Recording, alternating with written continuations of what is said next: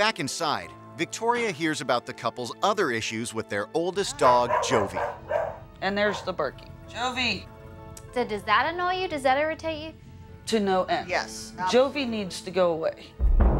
Jovi is the definitely the one dog in our household that puts a strain on Maddie and I's relationship. Jovi's the biggest irritant in my life. Jovi can't be trusted. She'll snap at neighbors, she'll snap at the kids. Connor won't even walk by her. Connor walks through the kitchen and around and down the hallway to go to her room. Did she bite you? Yeah. Hmm. The dog needs to go. No. Oh, so wait a second. You're saying Jovi needs to be rehomed. Jovi can't be rehomed. Jovi is a big source of contention between Robin and Maddie. But I don't think Jovi would be better off with anybody. She's too old to be rehomed. She needs to stay with the family. With Guinness barking and with Jovi barking at the fence, it, it's definitely not peaceful. So it's it's not a relaxing time in our backyard. There's really serious problems here. With all the dog's various health issues, with the pool, with Jovi potentially biting people, with the static mat, with the walking outside, there's a lot of things that need to be addressed. If Robin and Maddie don't get a handle on this, there's no way they're going to be able to enjoy their pool this summer. First of all, you've got Jovi's unpredictability, her biting. She snapped not just at Connor, but she snapped at friends of Connor's and she snapped at other guests that you have around here.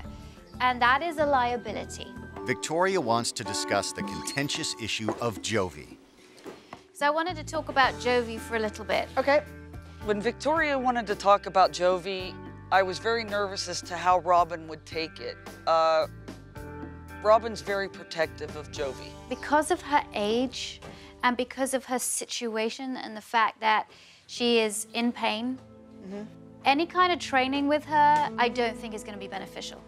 Okay. So in this case, we're going to have to use management. Okay.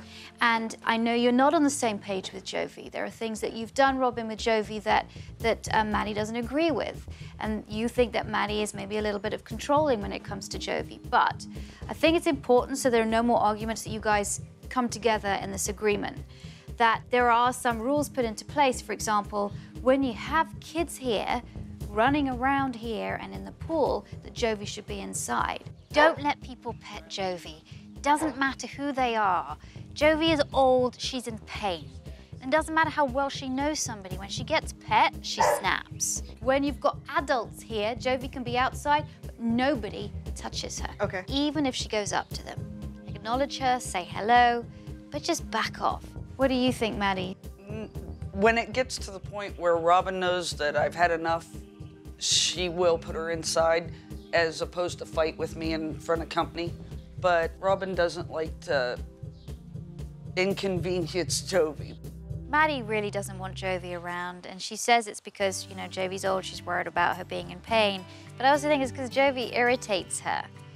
And you can't rehome a 12 year old dog, especially a 12 year old dog with these issues. What this dog needs right now is a peaceful, calm life. Right. Let it be chill. Okay. Jovi rules nobody pet her. Even if you have your adult guests over, just tell them, ignore her. It's summertime. I want you to have friends over. And I want you to be able to enjoy your backyard and your pool without your dogs barking and making it difficult. So let's see if you can accomplish that. I'll see you. Great. All right, good luck. Thank you. Bye. Bye. Owning a dog should be a pleasure and it shouldn't cause arguments, but unfortunately in this household it is. If they don't work together, if they're not consistent, the arguments are going to get worse. Later in the week, Victoria checks in to see how the family is doing. I'm very interested to see how Maddie and Robin have been getting on. Today, everyone's out by the pool to enjoy the beautiful weather. No. Back up.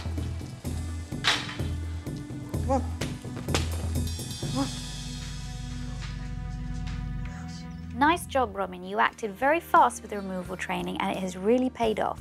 Definitely did work. Yeah. Wow. Nice. Nice and peaceful out here without them barking, huh? Definitely. This is great. You can finally hang out in your backyard with no barking. But the real test will be when you have more friends over. How you doing? Boy. Good. How are you? Okay. Hi there. Hi, sweetie. Hey, Joe. What are they doing?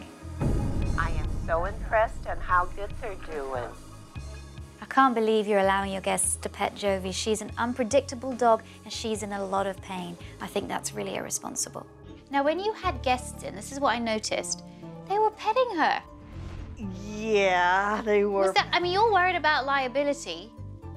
Well, it's definitely going to be a liability if they come in and pet her. And what I think you saw is the people that have been here are all people that house sit. Jovi is old, she's in pain.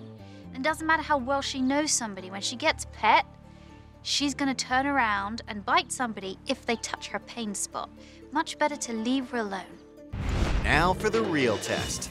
Maddie and Robin are hosting a pool party for all of their friends. Because it's my party and I'm loving it.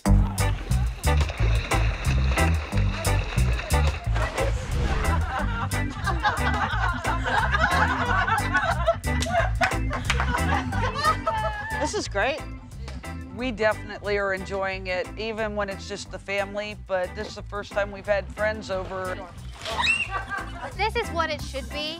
Your dog's hanging out over there and being happy. You guys having guests here being happy. Guests are in no danger. Guinness and Jovi were incredible. They did not have to be removed once because of barking, even though people were in the pool making noise. That was a great result. I want you to enjoy your pool. It's summertime. Have guest rounds, have parties, chill out, and have your dogs part of it, but not being a bad part, being a good part of it. Great. Okay? This was a really awesome experience. It was great meeting Victoria, and we learned a lot. Thanks for watching. If you love It's Me or the Dog and want more dog training tips and tricks, visit my official site, positively.com. And if you're interested in learning more about becoming a dog trainer, check out the Victoria Stilwell Academy. Links to both sites are in the description. I'll see you online.